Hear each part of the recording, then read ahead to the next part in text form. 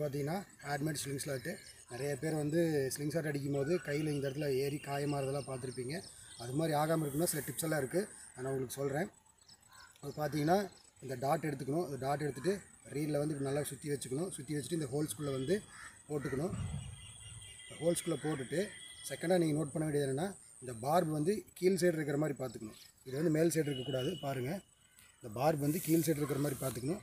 அப்புறமா வந்து நல்லா இதை வந்து ஜாயின் பண்ணிவிட்டு இழுக்கும் போது பார்த்தீங்கன்னா ஸ்ட்ரைட்டாக வச்சுருக்கணும் கையை. இப்படி சாக்கிக்கூடாது இப்படி சாக்கிக்கூடாது இது வந்து ஸ்ட்ரைட்டாக இருக்கணும். ரீல் வந்து ஸ்ட்ரைட்டாக இருக்கணும். ஸ்ட்ரைட்டாக இருக்கணும் வச்சு அடித்தா தான் நமக்கு வந்து டாட் வந்து ஸ்ட்ரைட்டாக போகும். பாருங்கள் நான் இப்போ உங்களுக்கு விட்டு காட்டுறேன். விடும்போது பார்த்தீங்கன்னா இந்த ரீல் வந்து ஸ்ட்ரைட்டாக வச்சுக்கணும். வந்து சாய்க்கக்கூடாது. இப்போ போயிடுச்சு போகிற வரைக்கும் பார்த்தீங்கன்னா ஸ்ட்ரைட்டாக தான் வச்சுருக்கேன். நீங்கள் இப்படி சாய்ச்சிங்க அப்படின்னா ரீல் வந்து இந்த போகிற ஃபோர்ஸுக்கு வந்து இது வந்து கட் ஆயிரும். கட் ஆகிறதுக்கான சான்சஸ் இருக்குது தேங்க்யூ